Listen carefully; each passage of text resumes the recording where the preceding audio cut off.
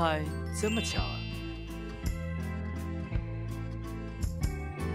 当天的一个眼神，日夜夢在我心里。這晚怎跟你相見？會否心動望着我？不懂開口，我怎樣做？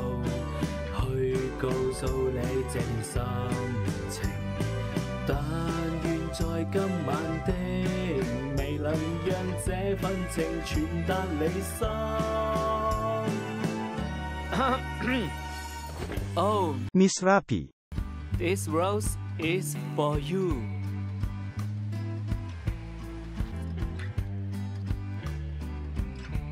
Well，弄坏了一只，所以 This rose is for you too。